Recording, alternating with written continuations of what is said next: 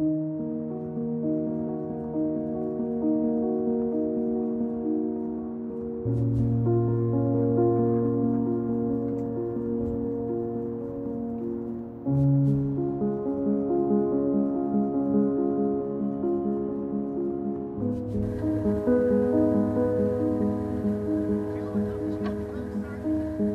we're at anchor and we're going to have dinner at anchor. the anchor bowl is up.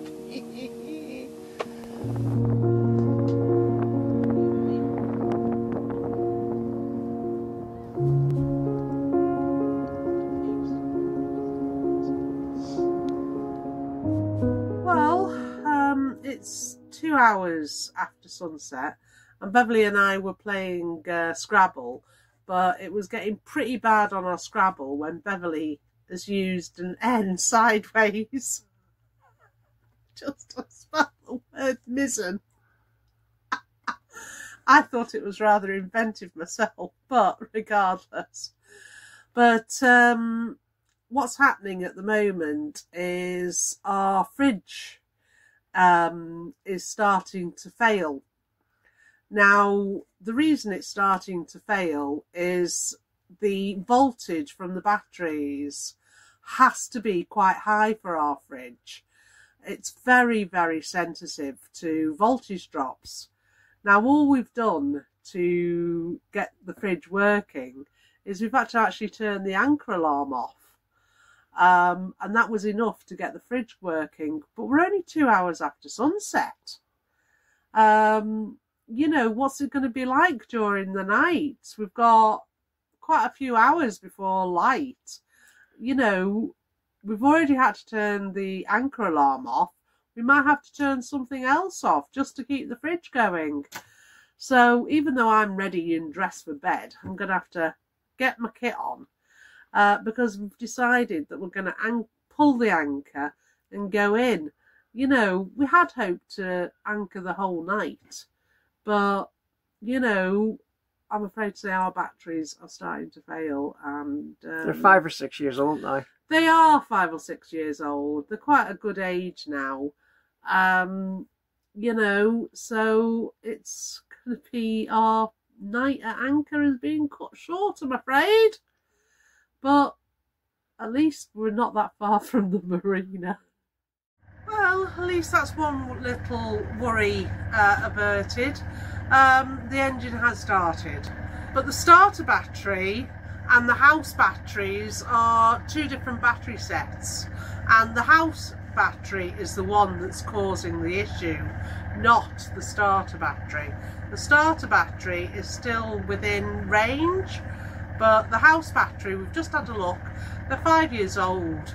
So, you know, three years is typical for a lead acid. So we've not done too badly with five.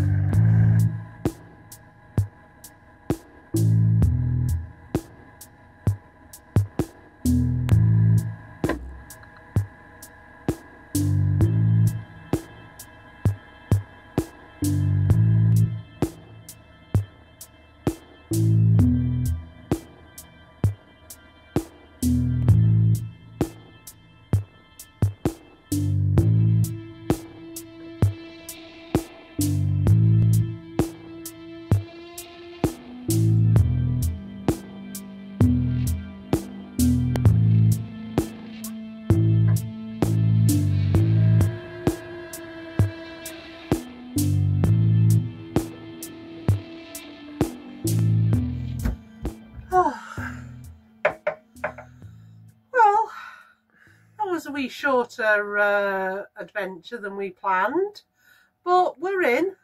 But one of the things that's really, really useful is to have a wee headlight on a stick like this one. 600 lumens, which is basically a car's headlight. But for finding buoys and things like that, it was just super, super useful. Um, but yeah, lots and lots of light. Well, as you know, we were at Anchor and um, we've had a look at just how far our voltage went down. And it went down to 12.43 volts, which, considering you're only talking about two hours after sunset, is quite low, really. So clearly our batteries are toast. If they're not holding charge through the night, then as far as we're concerned, they're of no use to us whatsoever because we love being at anchor. So we're going to have to replace them. Now, quite a few things that we can consider is physical size. There's no point in getting a battery that's going to be a lot bigger than what we have now because we've not got that much room in the area. Other things to consider is where the terminals are. I'm no intention of rewiring this boat. Um, so here they are in Honda here. And these are our batteries. And um, what we have at the moment is uh, L5077 battery. And we can still get those. So for minimum amount of disruption, we can get two of these batteries and just drop in and replace. And that's what we've decided to do. The only problem we have with that is we are in Northern Ireland and getting these things delivered is going to be a difficult job. So as Gander says, physical size is one consideration of the new battery. Um, another consideration is the technology you're already surrounded with. Our little Victron charger that does our solar panels uh, does have an option for lithium, so that is a thing, and it also has options for gel and AGM and wet batteries, lead acid. So that's all well and good. We can do any of that with um, the little Victron charger. But the Sterling charger, which is our shore power charger, it connects us to shore power and keeps the batteries charged up, is an older charger. They are four, five hundred pounds to buy new, and it only does AGM and sealed lead acid and wet batteries. That's it. That's the choices. So unless we're prepared to shell out for a new Sterling charger or something similar, we have to do without shore power charging.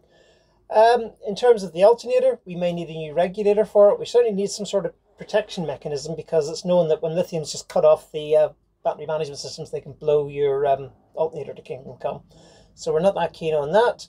Uh, the other big showstopper for lithium is just the sheer price. We've looked them up this morning for the battery replacements we need, and depending who we buy it off, the replacement price is anywhere between £700 and £1,300 whereas for the lead acid ones we're putting in, it's 400.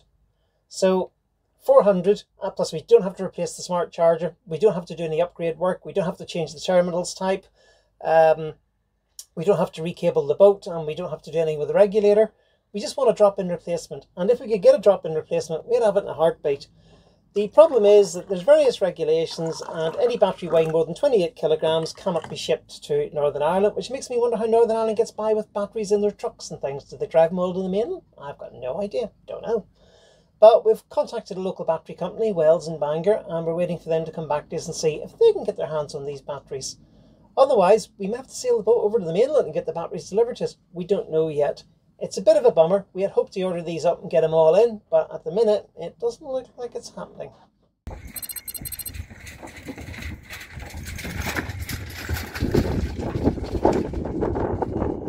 We're having a coffee break before we start, and we just noticed the fridge making odd noises, and um, so we checked the voltage on the uh, voltage indicator.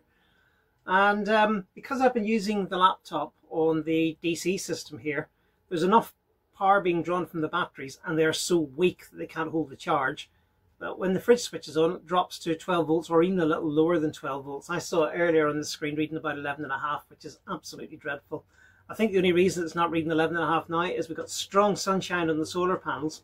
But even with the solar panels going, the shore power going, the batteries can't even hold 12 volts. So um, I don't think it's the fridge that's causing this. Well, the fridge is indirectly causing it because fridges have a high draw. But um, I think the batteries are just buggered. So at the end of the day, we're going to put these new ones in. If it turns out the fridge is knackered, different problem, but at least we'll have new batteries. But I think this will sort out the fridge problem for now. Fingers crossed. So uh, before we actually purchased these batteries, we tested them in Wells um, to make sure that they were at a re good resting voltage. If the batteries are not at a good resting uh, voltage, don't buy them because if they're knackered before you start, you're wasting your money. So a good resting voltage is anywhere in around 12.7. Anything below 12 is just scrap. Okay, so um, we did say that we were having trouble sourcing the uh, Bosch batteries here in Northern Ireland, and it's because apparently for some reason Bosch don't sell their batteries in Northern Ireland, whether it's a Brexit thing or some sort of paperwork thing or just a, a regional marketing thing. Who knows? Anyway, the upshot is that Varta will sell us a virtually identical battery. Um, same size, actually bigger capacity. These are 180 amp hours, the Varta is 190. So we're getting an extra 10 amp hours. Fortunately, it doesn't come free. And these batteries are a little bit more expensive. I think they're like 20 or 30 pounds more expensive per battery. So the bill of 400 pounds has now got up to 500 pounds. And um, the other thing we've decided to do is we noticed that our starter battery is three months younger than these ones, and these are going. So what do you reckon? The starter's a devil to get out because of where it is. It sits right in front of this house battery. But if we're taking this house battery out, it's easy to change the starter. So we went and shelled out for a starter battery too, and we'll be changing that one today. So we'll be getting a new starter battery and new house batteries all today. And hopefully we'll be good for years to come.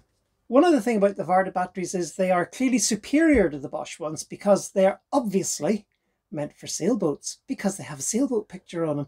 The Bosch don't, they just have a like big blue sticker on top. So we've obviously gone for far superior batteries and obviously intended for sailboat use.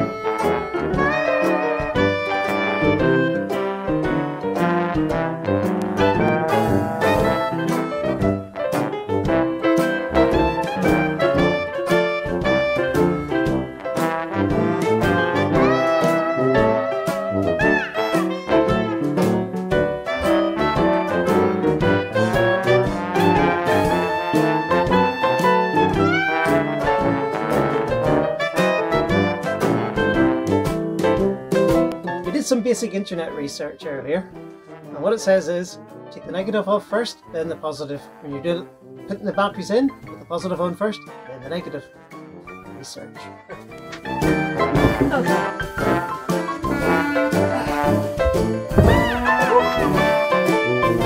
that's that. That's that one out. How to do yours, yeah? Oh, I could have done without that. That was one awkward battery to fit. But it's in. And if it was awkward to fit with the big one out, think how awkward it would be with the big one in. But now we can put the big ones in. Hallelujah.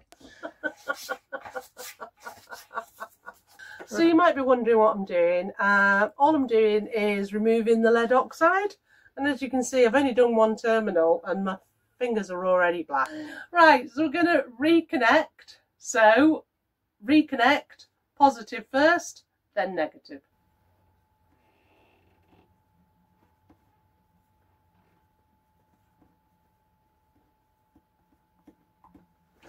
Well, they're all installed, but we did have a slight panic And we had all the, the wiring off and we were looking at it and thinking, which one's the house battery?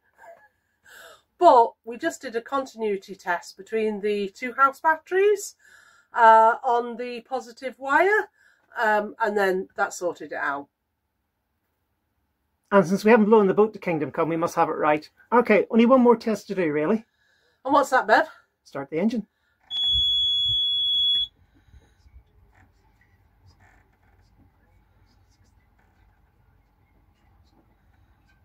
Starting.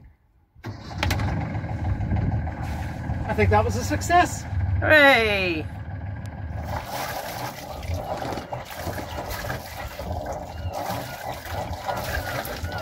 Well, um, this is the battery we've just removed and we've tested both batteries.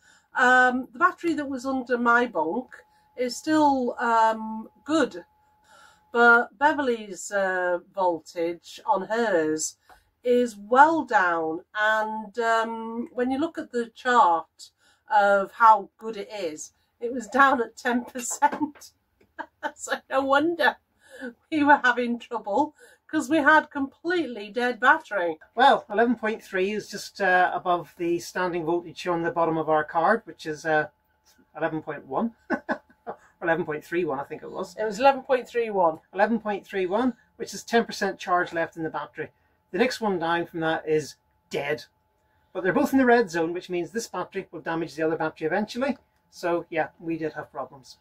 What about the starter battery, Bev? Battery seemed to be okay. It was still reading over 12 volts. But why not take the opportunity to change them?